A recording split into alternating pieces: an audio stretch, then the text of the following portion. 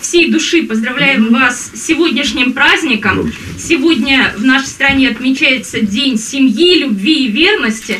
Настоящий пример для молодых семей и большая редкость для наших дней. Георгий Поликарпович и Ольга Ивановна Мосины вместе 65 лет. А огонь их любви горит все так же ярко, как и в первые дни знакомства. От родных с мальчиком спускается. Ну а мы как, ребята-то молодые?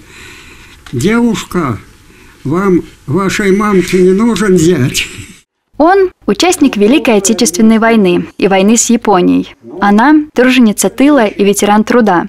На счету у героев тысячи счастливых событий, прожитых рука об руку. Самые яркие – рождение сыновей, внуков и правнуков. Об их успехах пара вспоминает с особым трепетом.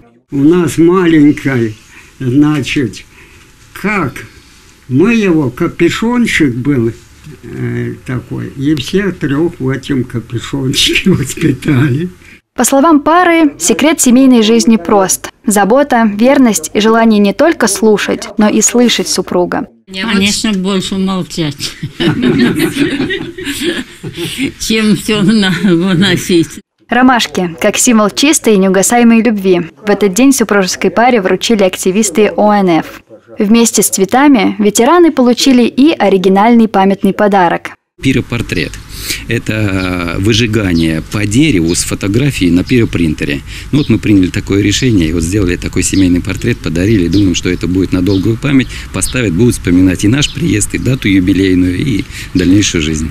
Все тяготы и невзгоды ветераны переживают вместе, не ждут праздника. Счастливыми друг друга и своих родных стараются делать каждый день.